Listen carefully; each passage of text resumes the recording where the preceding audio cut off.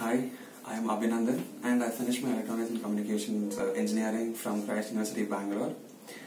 And uh, I'm a 2018 pass out.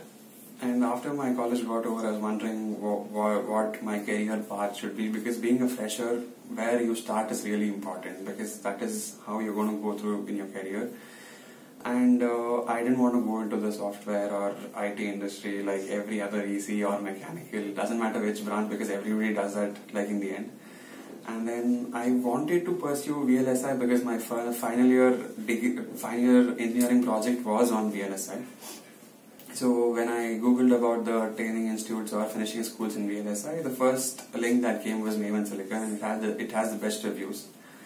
So I came here, I spoke to the admission department. They sound very genuine and very convincing, and I felt safe here.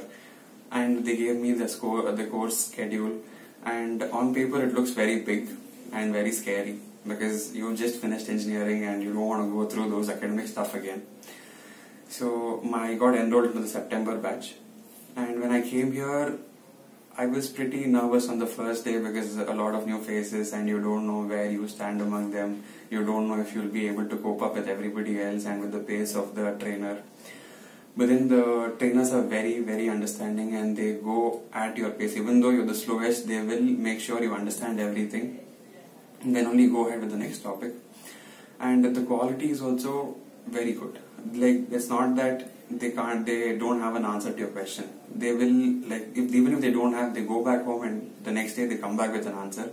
And they try to they try their best to give us the best like the quality that the industry is expecting so yeah, the facilities are brilliant. The lab has more than plen- like more plenty of systems. Nobody has a shortage. I like you can come anytime here and work, and you always have lab support from morning till evening till the time you go back home. There will be someone to assist you in the lab in case you're facing any problems.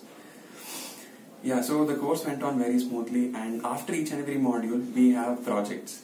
So to see how good we have understood the material like the course material or the theoretical things how well we can put it to you how well we can put it to use. So after all this uh, we have a final test. And uh, after the final test we are provided with placement opportunities.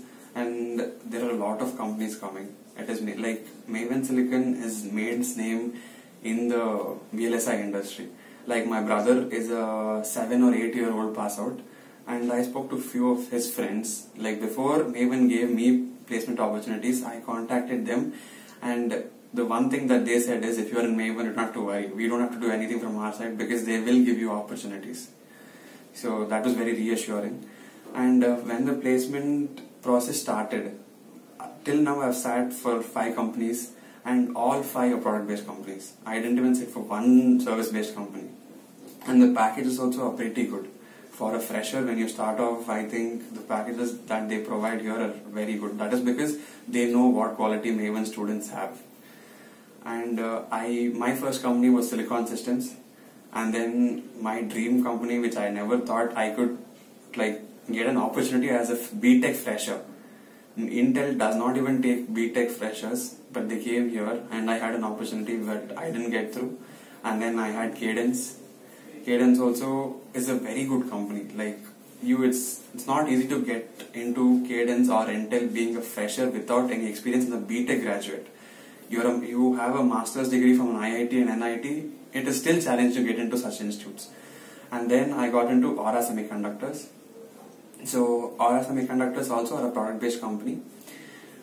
And here in the analog team, there are around 75 to 80 percent of the employees working there are IIT or NIT graduates and they have done masters. Digital team has 10 people out of which 7 are from Maven. So this should give you an idea about how good the Maven quality is. Like we'll be competent enough to like to share the same workspace with IIT graduates that have done masters. Yeah, so if you would ask me, I think this is a very good place to start off your career without giving a second thought. I think this is the best thing that happened to me, and I'm really blessed and lucky to have done my course here. Thank you.